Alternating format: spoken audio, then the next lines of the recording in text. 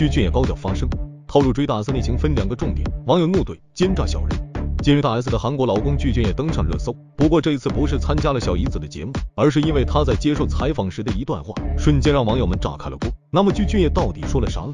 据悉，在采访时，具俊晔谈到一年前如何鼓起勇气跟初恋大 S 联络的。令人没想到的是，具俊晔还表示有两个重点，第一点就是耐心。具俊晔认为要有很大的耐心，好好的等待，当有好的机会出现的时候，马上就跟大 S 联络。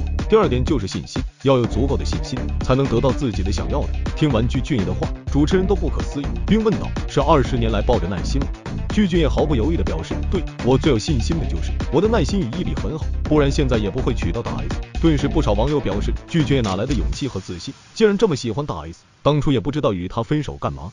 当初两人私底下谈恋爱时，因为公司规定，具俊晔并没有亲口承认这段恋情，导致大 S 心灰意冷，与他分道扬镳。之后，大 S 开始把不再恋爱脑。专心搞起了事业，在机缘巧合之下与汪小菲结婚。婚后，大 S 为汪小菲生下一儿一女，组成了幸福的一家四口。汪小菲对大 S 也是十分宠爱，不肯让她抛头露面，在家享受阔太太的生活。可恩爱归恩爱，这段长达十年的婚姻还是以离婚收场。离婚不到三个月就与初恋男友结婚，可谓是震惊全网。那时候大家就觉得大 S 与具俊晔之间有内幕，不然大 S 怎么可能会与二十年未见的初恋男友结婚呢？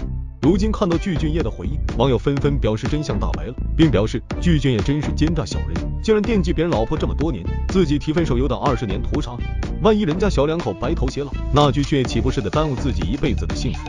不过具俊晔凭借自己的毅力等到了大 S，估计这就是人家的命吧？对此大家怎么看呢？